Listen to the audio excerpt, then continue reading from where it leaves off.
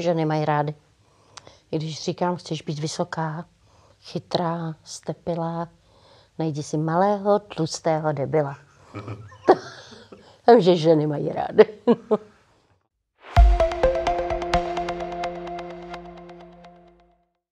Založila a vedla několik časopisů, napsala scénáře, které se přerodily ve filmy a stala se fenoménem české zábavy.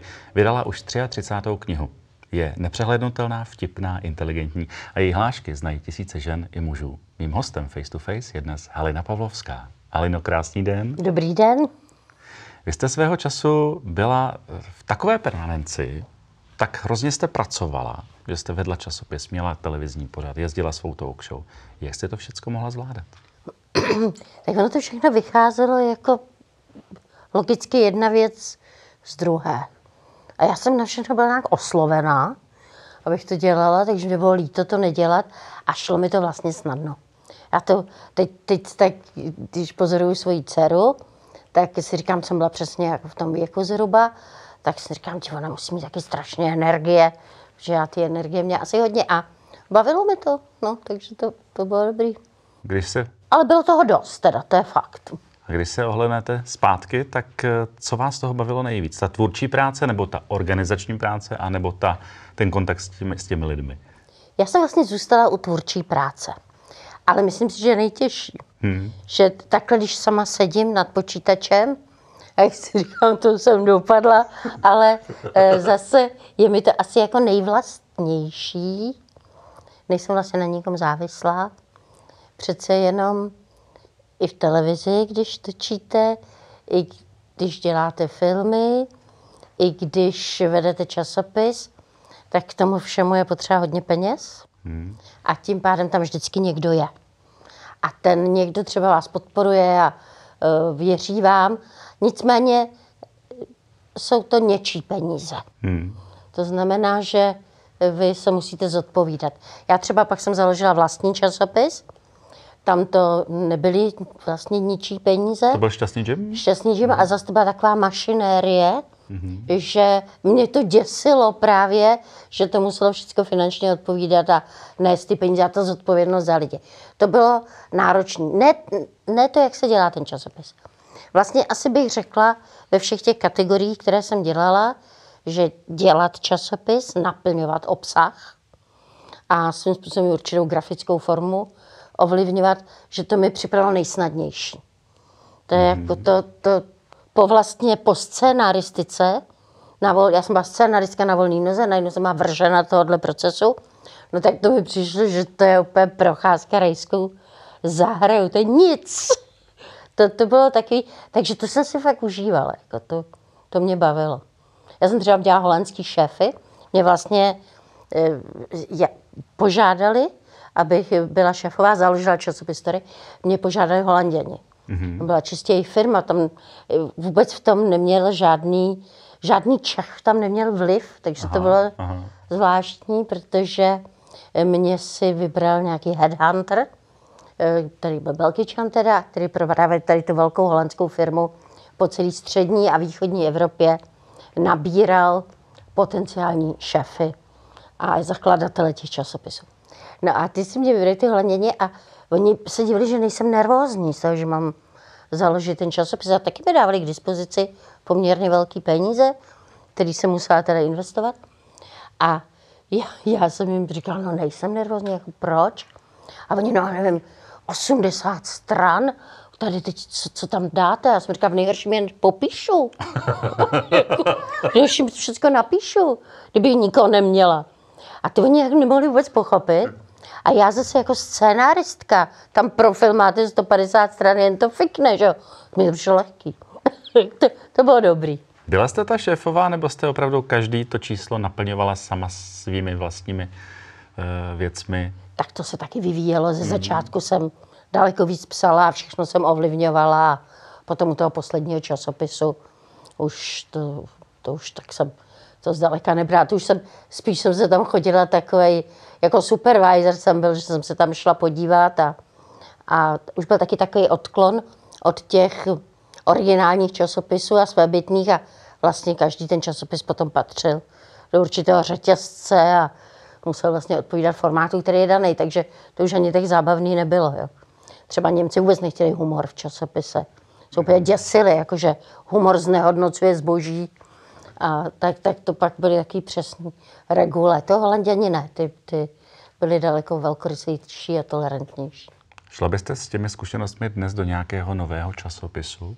Jako supervisor. Jo, Představa, jo. že bych měla brzo vstávat a denně chodit do práce od do, to bych nedokázala, ale jako připlachtit tam na dvě hodiny, říct, tohle je úplně blbě, to jo, to bych dokázala. Co je, Tohle byste měli udělat, to jo. co je Halino, když se podíváte dneska na ty časopisy, a zhoříte u toho někdo, jak tohle někdo může udělat, nějaký takový, jako taková bible časopisů, jak by se to mělo dělat a dneska se to nedělá. Někdy, někdy mě, mě, takhle většina časopisů mě nudí. Jo. To je takový základ, ale dávám je na záchod a tam občas jako se na ní podívám, tak, a tak třeba říkám, Ježíš, jak tady mohli dát zelenou. Zelená je přece tak nesexy. Jak mohli udělat na titulku zelenou, zelenou titulku, taková chyba. Jo, nebo zelený titulek, taková blbost. Jo.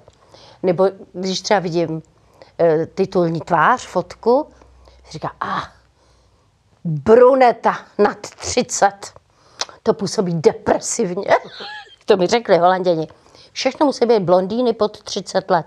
Bruneta nad 30 nemá šanci. Jenom pár men jako vybo, vybočovalo z řady. Třeba Lucie Bílá vybočovala z řady, ale jinak bruneta nad 30. To neprodáme. Muž, to, to je konec časopisu. I kdyby byl sebehezčí, jo? Ženského lifestyleového časopisu. Muž, no jste se zbláznili. Tak to do dneška třeba si říkám, no to byl debakl. Jako když jsme dali někoho na titul, tak já pak ho potkám v reálu, se s ním bavím a říkám, ježiš, to byl debakl. Časopise Marek Vaši byl hrozný debakl, ale přitom krasavec a spoustu měl obdivovatelek, ale na titulce lifestyleového časopisu nefungoval. Nedej bože zvíře, že jo? No zvíře, ale zvíře by mělo větší šanci než muž. No, no to jo, ale tak to, to se mi občas vybaví. Nebo si říkám, že to je ošklivá grafika, proč takový písmo, to nepřečtu. To čtenářka nepřečte, se nebude unavovat tak malým písmem. To je reklama na nic. Jo. Tak to jo, to tak se mi vybaví, ale hned to zase jde pryč. Nebo dlouhý článek, špatně zlomený, oh, to se s tím nikdo nebude trápit. I u knih to mám, ale. jo. Když vidíte sama sebe na titulu, tak eh, koupíte si to, zajímá vás, co se píše? Nebo požádáte někoho, aby to koupil? Ne, ne, ne, vůbec. A doufám, že nikdo z mých známých si to nekoupí ještě dopředu. A pak ještě doufám, že jsou natolik taktní, že mi o tom nebudou informovat.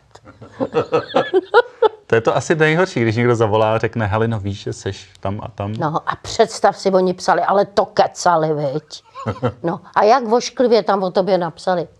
Ale tak, tak to, to, to, jsem, ale to tak už zase tolik není. Ne, jedna doba byla taková, mm-hmm. bych řekla, je pár časopisů a to zaslechnu třeba televizi, nějaký pouták, já nevím, Pavlovská v slzách. Teď já třeba si tam, já nevím, odlakuju nechty a teď úplně zalídu Pavlovská v slzách. Co se mi to pro boha stalo? Vůbec netuším, o co jde. Že, a ono to je třeba úryvek z mojí povídky. Mm-hmm. To často bývá, že se něco napíšu sama a ono to vlastně pak tam to tak použijou chytře. Tak titulek prodává, že jo? Ale já myslím, že teď, teď zase už někdo jiný je v slzách. Vy jste krásně jednou řekla, že miluju, když mě někdo chválí, že je to pro mě hnací motor. Mm-hmm. Tak eh, jste ráda obdivována, chválena, ale když si to zasloužíte. Já jsem ráda, i když si to nezasloužím, když mě někdo obdivuje a chválí. To já to tak na sebe nejsem takhle přísná. No, ale máma mě nechválila nikdy, mě nechválili. Tak je to kvůli tomu právě, že máte takový deficit? Já myslím, že každý má deficit. Že, Ale z toho dětství, že si to nese ve školách, ve školách nás taky moc nechválili, že hmm. jsme byli takový jako, to je pověstná moje maminka, jak mě terorizovala, to vyprávím ráda, že jako jsem se špatně učila, byla jsem nemožná. A mým dětem to říkala. A všem mě to říkala. A já jsem pak našla nějakou žákovskou svojí z osmé třídy. A zjistila jsem, že za celý rok v té osmé třídě, v té žákovské, mám jenom jedničky. Jednu dvojku mínus z německých slovíček. Doteď si to pamatuju, což už i to mi připadá smutný. Jak to pamatuju, že mi dala dvě mínus. A teď jsem tak koukala na tu žákovskou. A pak jsem šla za mámou a říkala jsem, mami, ty pořád vykládáš, jak já jsem se špatně učila. Ale teď já mám tady samý jedničky. A moje matka se tak na mě podívala a říká, no a prosím tě, ale ty tvoje jedničky, když ty vůbec nebyly čistý. Ona mě terorizovala špinavýma jedničkama. Maminka byla učitelka, Maminka byla učitelka. Takže trochu mm, postižení z povolání. Maminka byla a taková, já jsem jí to někdy i pak vyčítala v dospělosti, že mě nechválila. A ona říkala, já už jiná nebudu, což pravda. Ona ještě přitvrzovala, jo, čím byla starší, mm-hmm. tím to bylo horší. Ale třeba když jsem vyhrála tenisový turnaj a přišla jsem domů a říkala jsem, že jsem vyhrála, tak moje matka říkala, to víš, mezi slepými jednoký králem. a to se mi taky často vybaví. No. Takže když mě někdo pochválí, tak jsem šťastná. Co nechápete na ženách a co na mužích? Ani nevím, jestli to takhle odlišuju. já někdy nechápu, já někdy nechápu na lidech, že něco, co mi připadá jako elementárně jasný, že jim ne. A pak nevím, jestli teda jsou úplně blbí, nebo jestli já jsem úplně blbá. A to pak jsou ve mně velké pochybnosti vůbec, takový existenciální, jestli, jak, jak, si, jak, si, jak to pojmout. No. Vy máte ráda emoce. Máte pocit, že když třeba muž se rozpláče, že to je slabost, nebo je to přirozený? Nepřemýšlela jsem o tom tahle, takhle, ale asi bych to nepovažovala za slabost. To někteří, některé ženy to tak berou. Třeba. kdyby denně mi tam plakal ten muž jako nad tím, že se pokecal nebo že ho bolí loket, tak to by asi mi připadalo zvláštní, ale když jde o nějakou vypjatou scénu, tak proč ne? Vy sama jste hodně emoční člověk? Umíte vyletět na strop a pak tam pět minut a pak je všechno zalitý sluncem, nebo vás to drží? Myslím si, že umím vyletět na strop, ale není to úplně často. Jo. Ten ventil někdy musí prostě. Něk, málo kdy. Mm-hmm. Ale někdy jo. A takhle myslím si, že by to mohlo být mnohem častěji, že se ve mně bere právě ten můj otec, který vylétal neustále. A moje matka, která vlastně díky tomu, že on stále byl někde na stropě, tak byla na zemi. A já jsem hodně na zemi, ale vím, jak snadný je okamžitě se ocitnout v té vrtuli a myslím si, že jako umím potlačit to někdy. Vy jste vlastně celý život žila s rodiči, žili jste celá rodina v jednom bytě, že jo, ještě na Karlově náměstí, teď v tom domě. Uh, to nemohlo být vůbec jednoduchý, když tatínek byl takovýhle cholerik a maminka naopak jako žít několik generací v jednom bytě s, tím, s touhle energií? Tak asi hodně mě to ovlivnilo a formovalo. A já jsem zase neznala žádný jiný model, tak mm-hmm. ono mi to nepřipadalo tak zvláštní, jak to zřejmě bylo. Naopak až teď, když už byla velmi zralá dáma, tak si říkám, jak já jsem to vůbec mohla přežít.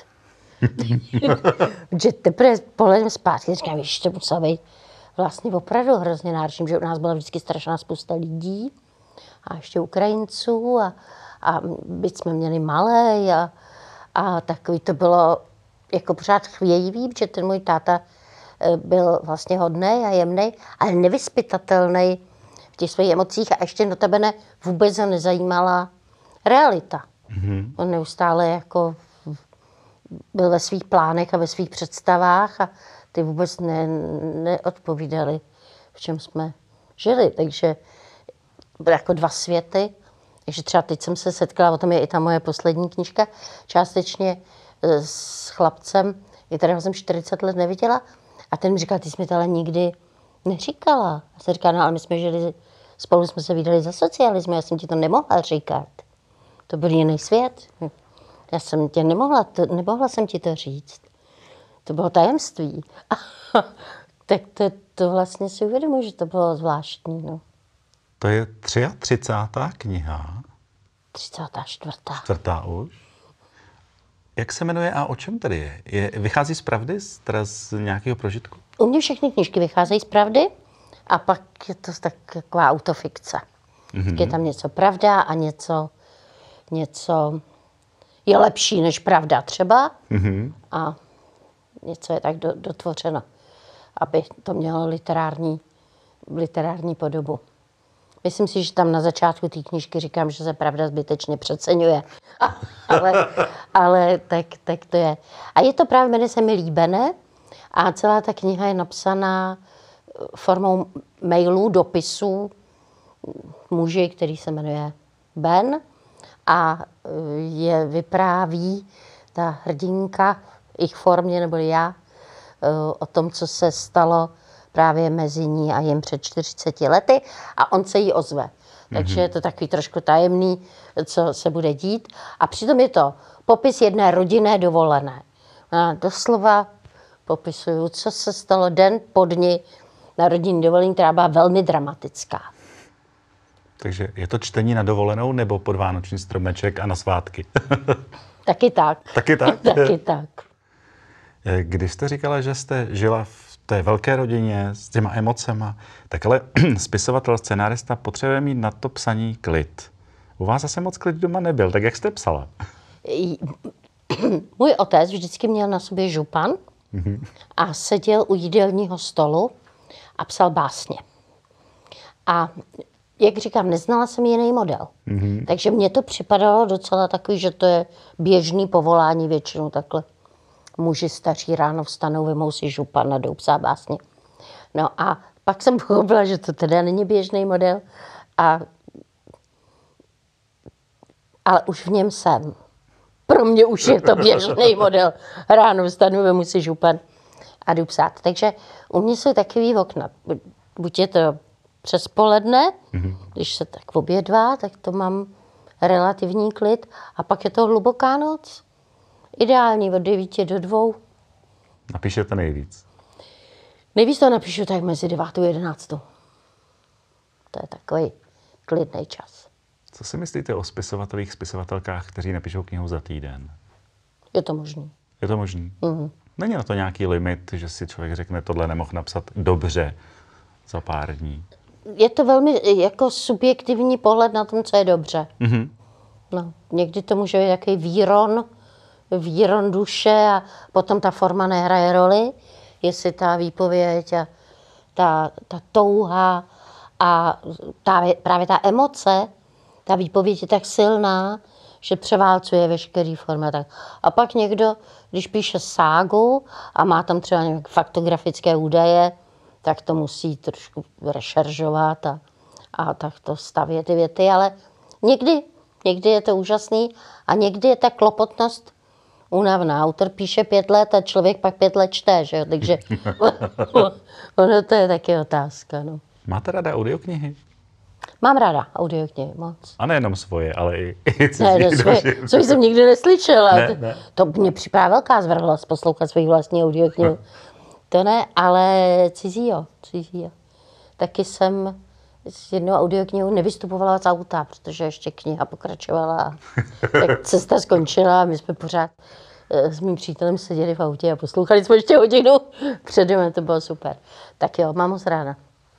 Já když se občas eh, pozdě večer v noci dívám na televizi, tak vidím vás, protože neustále se reprizují banánové rybičky. Podle mě to byl geniální pořad, kam jste si pozvala řadu zajímavých osobností. Já vím, že jste to asi mnohokrát říkala, ale proč za A banánové rybičky. A vy máte k rybám nějaký blízký vztah, vy už nejste ryba, vy jste 21. března a tam se to láme. U mě všechno je vlastně souvisí s knihami. Mm-hmm.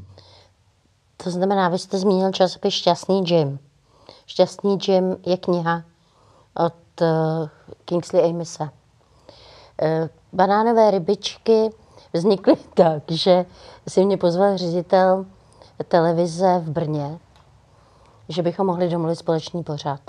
A to proto, že tady v Praze rozhodli, že bych měla mít televizní pořad, že by bylo fajn, kdybych měla televizní pořad, že já měla pořad v Žitě mm-hmm. a Zanzibar a že možná by se měla mít pravidelný týdenní pořad, ale uh, 20% produkce televizní obstarávají uh, právě ty regiony, to znamená, že u mě by Brno by se jako toho ujalo. A já jsem, že dělalo Bolkoviny, ono to bylo nějak, mm-hmm. takže zároveň dělal to talk show.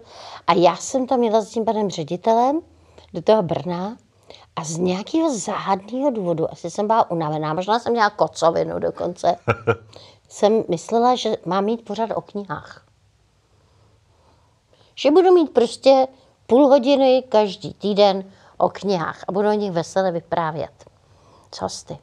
Tak jsem o tom s tím celou dobu tak mluvila, jak to budu mít ten pořad.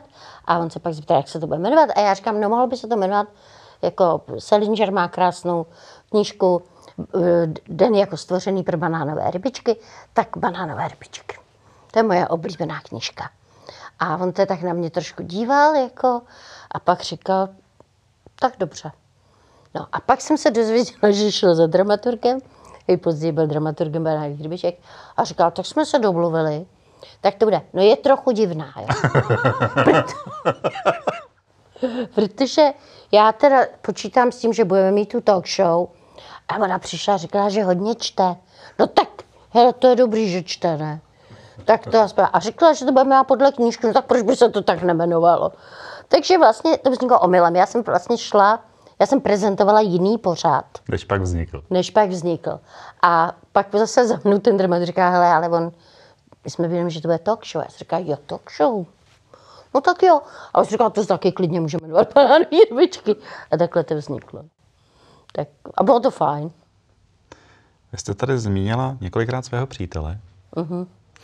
Jste byla vdaná, pak váš manžel poměrně smutně odcházel a přišel do života váš partner, váš přítel. Eh, je to další poslední muž vašeho života? No to nevím. no to nevím. Eh, tak my jsme se znali, to je můj mm-hmm. produ, producent, mm-hmm. který právě produkoval banánové rybičky a uh, film Díky za každé nové ráno. Takže se známe nesmírně dlouho a zná moje děti a moji maminku znal, takže to spíš byla taková jako souhra okolností, že za prvé k němu mám důvěru a mám ho ráda a z, taky, že v tu chvíli, nebo v tu, to není přímo v chvíli, hmm. ale dejme tomu za rok, on byl sám, hmm. takže vlastně tak ten, ty, jako ty naše životy dají dohromady. Co pro vás takový muž musí mít, aby, aby opravdu jste řekla, to je můj partner a mám ho, chci ho mít ve svém životě, čím vás muž musí dostat? Já myslím, že to není zase tak asi těžký. Asi mě nesmí úplně nudit ale to taky, to je, já už nejsem jak náročná, klidně jak mě nudí třeba. jako je fajn, když má řidičák, jo. protože já ho nemám. Takže to je takový můj jako... Neměl by asi pořád mluvit, to bych možná nesnesla. Ne, že bych chtěla mluvit já, ale docela ráda mlčím. Třeba v tom autě. Ano. 200 kilometrů mlčíme, jen to fikne. A hraje nějaký rádio nebo něco? Ano, ale někdy ho zase vypínám. Takže jdete v úplném tichu. Hmm. To je zvláštní. No. Je to tak, ale tak vznikají ty knihy. Tam se mi nejlíp myslí. Mm-hmm. V autě, mm. za jízdy. Mm. Neusínáte, co za myšlíte? Za ticha. Mm. To mám ráda. A taky víc jako vidím nějak tu přírodu, to okolí, když ku podivu nic nehraje jako, asi nedokážu používat několik smyslů najednou, ale jako, jako to, to mám ráda. Takže, takže u těch mužů, vidíte, to je zajímavá otázka, to jsem ještě nikdo nezeptal. Hmm. Ani já sebe jsem se nezeptala. Řidičák. Vidíte, to nejsem náročná. řidičák by měl mít. Ten humor, že jo, nějaký? Tak zase taky to nemusíme přehánět, no, tak každý je nějaký. No, co ještě? Měl by mít rád jídlo asi. Mhm. To by mě asi mm, jako nebavilo, kdybych já měla ráda jídlo a on by se On to byl, byl vegan, totální třeba. Vegan, no, tak vegan, je vegan, ale to má rád, když tak. Vidíte, jak jsem tak tolerantní, bože. Asi by, asi nějaký vypjatý sportovec by mi neseděl teda. Jo. Cyklista. By ujel. By moc jezdil a měl takový ty, ty elastické věci. S tím vycpaným zadkem. To mě opravdu přijde hrozně neerotický. To bych asi těžko zvládala. Ale zase na druhou stranu, ať když by ho neviděla, ať si oblíkne cokoliv. Zatmy. Zatmy, ať je jakkoliv má pleny, mi to je jedno. Vidíte, vlastně ten řidičák pořád mi tam zůstává. Hodně. No. Tak as, ale já myslím si, že on by o mě nestál, kdyby byl vypjatý sportovec. Co víte? Pak ještě někdy mě jako deprimujou lidi, to je hodně v poslední době, co tak jako tak uvědoměle chodí. To je výraz, že chodí. Se jdou projít, tak, tak uvědoměle, jako že to mají v popisu práce. Ja- Jasně, Hlídač to patří- muzeu. je, no, ne, ale teď patří ke zdravímu způsobu života, že člověk musí hodně chodit, jo. No ale jako když už mi dopředu někdo řekne, půjdeme, někam tak půjdeme, tak jak už dopředu jako jsem úplně paralizovaná, jo. Já říkám, půjdeme do hospody, tak to jo, to jdu běžím, že jo. Nebo někam jdeme do cukrárny, jdeme hned na kafe, že jo. Ale jako jenom tak jako Někam jít? chodit, to, to asi nedokážu. Vy těma Bez svýma... cíle. Bez cíle musíte mít ten cíl. Musím mít nějaký hezký cíl. Vy těma svýma radama, kterých byly i banánové rybičky plné, které se staly legendárními, tak máte nějakou takovou, která převažuje, která, která přečká všechny časy? Evergreen pro ženy, ženy mají rády. I když říkám, chceš být vysoká, chytrá, stepilá, najdi si malého, tlustého debila. Takže ženy mají rády. A potom No. Potom mám takovou, která absolutně za ní stojím. To je rada, která platí v každé době a teď ještě víc bych řekla. A to je rada, užívej života na plné pecky, dřív než ti zubatá podrazí kecky. Hezký. No vzhledem k tomu, že váš slavný, eh, va- vaše slavná hláška je, že nejlepší sport je kafe a dort. To jsem tuhle viděla před jednou cukrárnu napsáno. Ano. To mě tak potěšilo, mě úplně, to jsem, to jsem měla pocit, že jsem klasička. Nešla jste si pro honorář, že jste to vymyslela vy? ne, ne, ale koupila jsem si tam zmrzlinu a říkala jsem, to je svatá pravda a ta paní, co mi dávala tu zmrzlinu, tak ta to věděla. Tak se na mě tak smála, jako, ale, ale ta, to mě poznala. Tak, a věděla, že jsem autorka, takže to, to, tak to, mě, to mě opravdu mi to zahřálo u srdce. A bylo tam narváno v té cukrárně. Bodeď. Vy jste dělala sport, jste říkala tenis? Já jsem dělala tenis jako závodně. Moje maminka byla tělocvikářka. A ke všemu ještě. A dneska byste teda toho sportovce cyklistu nebrala. Takhle, já si myslím, že, že aspoň se mně se jeví, že teď se to moc upřednostňuje. Ono to platí vždycky ve zdravém těle zdravý duch. A teď se moc mluví o tom. Mm-hmm. Každý jako vlastně jak každý, prostě každý plátek salátu se od něm jako medituje, že jo. jako prostě a každý semínko se pojmenovává prakticky jménem, jako že. To je prostě, to na to nemám, jako jo, psychicky, jako mě to opravdu nebaví ani to poslouchat. A každý jak právě chodí, jo, protože musí. A dýchá, taky lidi dýchají. Musí. Teď se učí dýchat, že jo, pak stojí na hlavě, aby jako, to bylo taky fajn, jak měli v pořádku v hlavě, tak stojí na hlavě a ať si každý dělá, co chce. To je podle mě naprosto do, Je lepší rada. dobrý, ale ne, nebaví mě tolik prostoru jako tomu věnovat všude, právě v každém časopise a, a ty, ty, ty rozhovory, jakoby mě to mělo nějak vylečit. Jako, myslím, že míň se mluví o tom, jak má člověk myslet Mhm. a trošku košatit tu mysl a, a trochu, a číst by měli lidi prostě víc. Ale lidi u nás čtou, to zase jim taky nemůžu vyčítat. O čem bude vaše další kniha? Bude-li teď nějaká brzo? Tak brzo, ten, já vždycky se divím, že ten rok je tak strašně krátký. No právě. Eh, chtěla bych cestovatelský povídky. Bo z různých míst, Který jste navštívila? který jsem navštívila. Nebo chci navštívit. O vás se toho ví mnoho, ale ne každý ví, že vy jste se i s dcerou vrhla na módní biznis. Uh-huh. Což si představme tak, že navrhujete šaty Ano, a jenom pro ženy teda. jenom pro ženy. Jenom pro ženy. Máme tam takový legíny pod proci. Materiál je pro sportovce ideální. Jsem si uvědomila, že tam bychom mohli rozšířit. Cyklistický. Pro cyklisty koutek. ideální, teď jsem si to vybavila. A vím, že třeba Heidi Janku nosí vaše šaty. Heidi Janku, teďko, eh, jak Tereska Černochová tančila ve Stardance, Ano. tak eh, na ty jedné zkoušce taky tančila v našich šatech.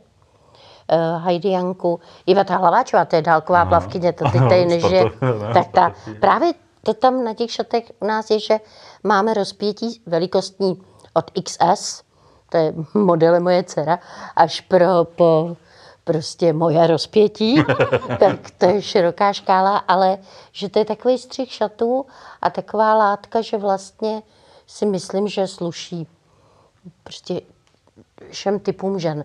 Že to není taková, tak jak odkazuje ženy plný tvarů, že musí mít takový ten divný, hnědej hábit.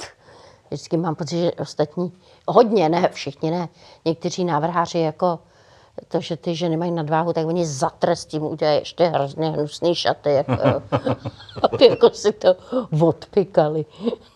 A ty vaše, ty vaše šaty jsou i velmi cenově dostupný, jsem koukal. jsou. Celý přemýšleli jste i tak, aby to bylo pro každou ženu. A je to ekobiomateriál, Dokonce. je to italský, italská, ital, z italské továrny ho bereme, na jihu Itálie je továrna, která dostala certifikát právě jak v souladu s ekologií a vůbec mm-hmm. s, každý rok, teď tři roky za sebou vlastně byla vyhodnocena jako jedna z nejlepších textilních továren a je to materiál právě proto je dobrý i pro sportovce, protože vy se jak, jako, jako um- vyperete ty šaty a oni jsou za do hodiny suchý, nežehlíte nic. A v zimě hřejí, v létě chladí. No, to je geniální. No, krásný jsou. A objevili jsme je v Paříži. Já jsem právě v v jednom, jsem pořád říkala, Pařížanky jsou tak strašně hubený, tak eterický. A zajímavé je, že já vždycky si tady koupím bez problémů šaty.